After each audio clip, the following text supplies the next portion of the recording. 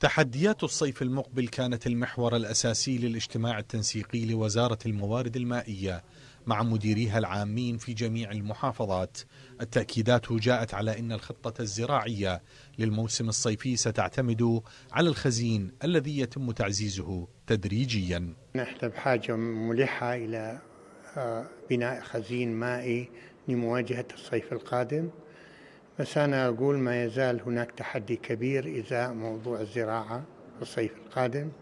عملنا مركز حاليا على آه، متابعة موضوع مياه الشرب والاستخدامات البشرية بشكل أساسي لأن في المناطق الجنوبية في مناطق ذنائب الأنهر الرئيسية وذنائب الأنهر المتفرعة هناك بعض المحددات.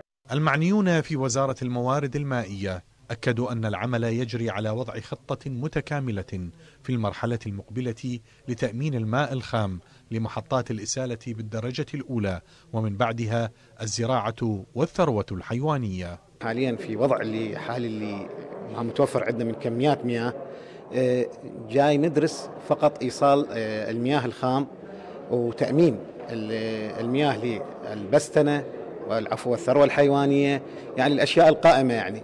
أما في ما نتأمل إحنا خلال الأيام القادمة ورود آه، كميات من الأمطار وما يردنا يعني من الجانب من الدول الجوار راح تدعم خزاناتنا. ومن المؤمل أن تشهد الأيام المقبلة.